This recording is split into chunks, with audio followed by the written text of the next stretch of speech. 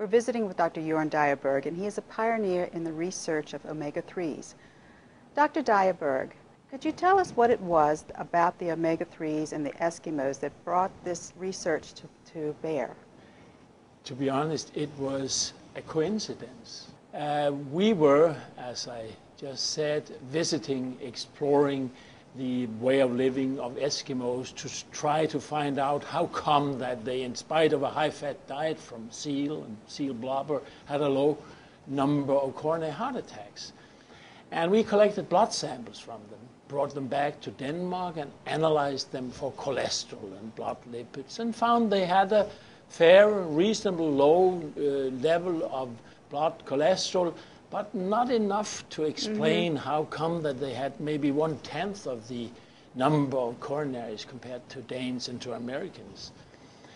And we had those precious samples. We had 130 samples. And uh, we, we said, no one will ever get up there to remote areas in hunters and uh, Inuits, Eskimos, and collect blood samples in fasting states. So we better do whatever of analyzing we could do. Mm-hmm and on, on the department that was headed by uh, Dr. Bang, he has passed away now, we had an old gas chromatograph. A that gas? could gas chromatograph. That's a technical term for an analytical machine that can analyze fatty acids. Ah. And we said, we better do fatty acids because, and then we'll print it in some journal, and then someone will know in years to come that the fatty acid pattern in Eskimos was that because we had those precious samples. Mm-hmm. So we did fatty acid analysis. And while studying the tracing, the tracing of the fatty acids coming out from that machinery, we found some new peaks that we've never seen before. And we didn't know what they were. So I, as a young researcher, had to do some digging down, and, and I went to America and visited Dr. Ralph Holman at, at, uh, in Minnesota. He was the expert at mm-hmm. that time on fatty acids. And he kindly invited me to his lab, uh, and he said, Jorn, I guess you have found two omega-3 fatty acids. And I said, omega-3, what's that? And he said that's fatty acids with the uh, double bonds in position 3 from the one end of the molecule, and they are called eicosapentaenoic acid and docosahexaenoic acid. And I remember myself going outside his office and saying, eicosapentaenoic. I had to learn these two new names. That was in 72 or something. So that was real. That was new things.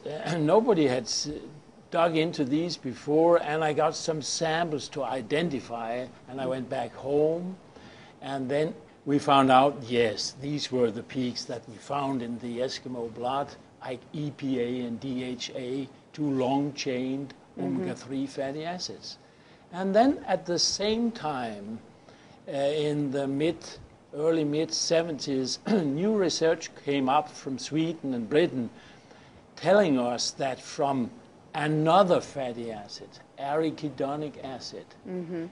could, which is omega 6. I'm sorry this is a bit complicated, but that's how life is. It is complicated.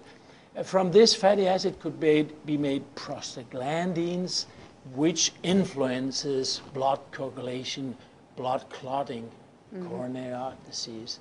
And suddenly we said to ourselves, how, why could it be so that from our Eskimo fatty acids, there could be another series of prostaglandins that could influence blood clotting in another way so that it didn't promote blood clotting but anti, acted against blood clotting. And that could be maybe the, the, one of the reasons to the Eskimo lower currents. And we went down into that in biochemistry and went to England and I did some research with John Sir John Vane, who later on got uh, the Nobel uh, Prize for his research in, in, in arachidonic acids. And we found out that yes, from EPA could mm-hmm. be made new prostaglandins that did not promote blood clotting to the extent that the prostaglandins from arachidonic acid.